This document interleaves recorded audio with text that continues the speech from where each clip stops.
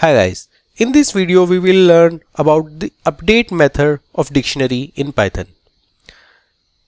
The dictionary class in Python provides a method update which accepts another dictionary as an argument or a sequence of key value pairs.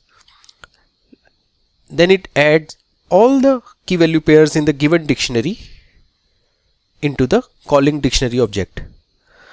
Like here we can call the update method on dictionary1 and pass dictionary2 as argument. It will add all the key value pairs from dictionary2 into the dictionary1. If both the dictionary has a common key then the value of the passed dictionary will be used. Like here the value of Sam is 20 in the merged dictionary. So this is how we can use update method to add a sequence of key value pairs in a dictionary.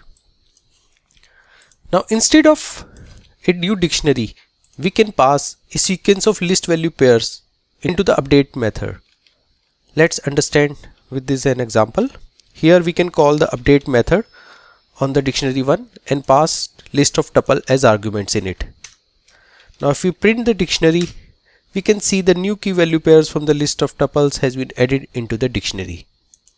So the update method from the dictionary accepts a sequence of key value pairs that can be either in dictionary or a list of tuples and add those key value pairs into the calling dictionary object. An important point to remember here, the update method updates the calling dictionary object. It does not return anything.